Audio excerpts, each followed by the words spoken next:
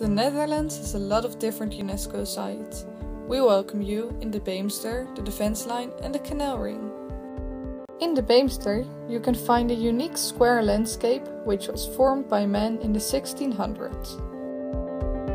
It is the perfect place to ride a bike and you can have a drink in a nice village with beautiful old houses. You can also pay a visit to the museum and the visitor center. Go by boat to various forts which are part of the defense line such as the Pampus, the Muiderslot and Muizenfort.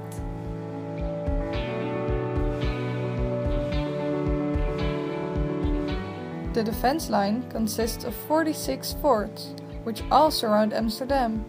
All those forts are UNESCO World Heritage.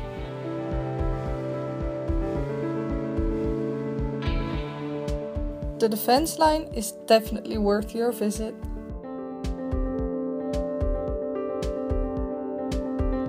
Another UNESCO site you can't miss is the Canal Ring in Amsterdam.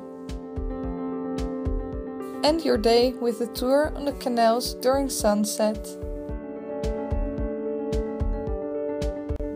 We welcome you with open arms in the Dutch UNESCO sites.